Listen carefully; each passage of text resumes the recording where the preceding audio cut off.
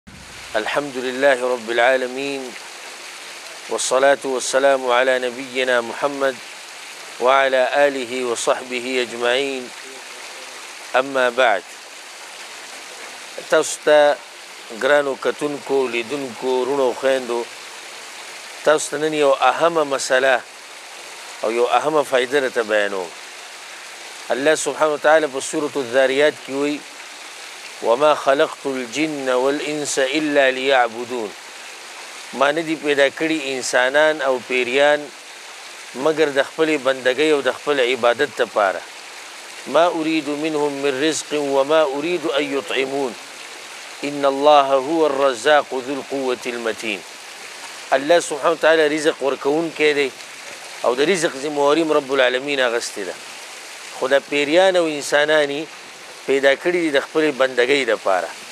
دي ځکه یو سو نصيحتونه د دې آیت پرانا کې اولنې خبره غدا ده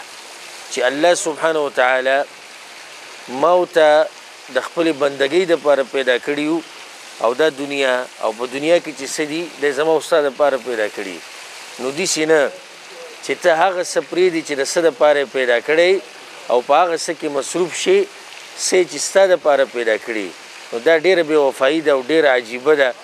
چې الله ته د څه لپاره پیدا کړی هغه پرېږدې او څه چې ستا لپاره پیدا کړي دی په هغې کې مصروف شې زما او ستا په دې دنیا کې یو مقصد دی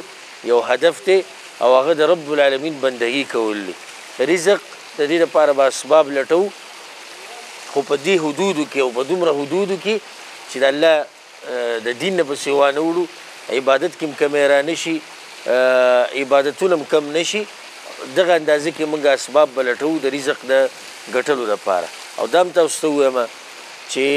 رزق چې الله سبحانه وتعالى کوم ستا په نصیب کې لیکلی هغه به تا ته مېلاوېږي، په هر حال کې به مېلاوېږي، که ته په وچه یې، که ته په لمده یې، که ته په کور کې، که ته بهر یې، که هر قسمه حالات وي، خو کوم رزق چې رب العالمین ستا لپاره لیکلی دی، هغه به لازم تا ته مېلاوېږي. حدیث کې دا راځي، رسول صلی الله علیه وسلم وایي، وایي، یو نفس،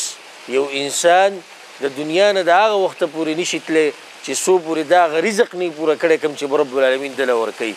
رزق په تا پسې داسې ګرځي لکه څنګه چې مرګ په تا پسې ګرځي او که تا نه چې ته رزق خطا شي نو ته ترې نه خطا کېږي ښه مطمئن اوسه په خپل رب باندې ښه یقین ساته بندگی کوه د الله سبحانه وتعالی د کوم د پاره چې ته پیدا یې الله سبحانه وتعالی تعالی ستا د رزق درکوي ځکه د سلفو په وخت کې یو بانډچي یو بدوی یو عربي هغه ته چې وي پلاني اوړه ګران شوي دي پلانې شي ګران شوی دی پلانې ګران شوی پلانې ګران شوی هغه ښه دا کس ورته غوسه شو وایي زه درته وایم چې اوړه ګران شوي دي رزق ګران شوی دی او ته ښه په ارام وې ښه په کار دی چې ستاسو سوچ وي څه فکر دی هغه ورته وي وی الله چې ما سره کم لوز کړی دی الله هغه پوره کوي او ما چې کم د الله سره لوز کړی دی زه به هغه پوره کوم الله ما سره لوز کړی چې زه به رزق در کوم ما د الله سره لوظ کړی چې یاالله زه به ستا بندګي کوم نو زه به د الله بندګي کوم